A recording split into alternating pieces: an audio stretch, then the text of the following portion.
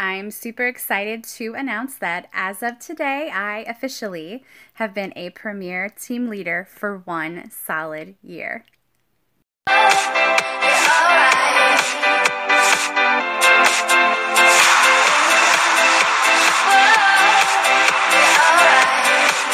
the heck does that mean?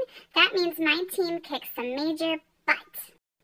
$20,000 or more in soaps and lotions every single month for the past 12 months. Solid. It also means that I'm pretty badass too. I'd like to thank my team, Team Posh Loves, and all my customers and my friendemers and everybody for all their support this year.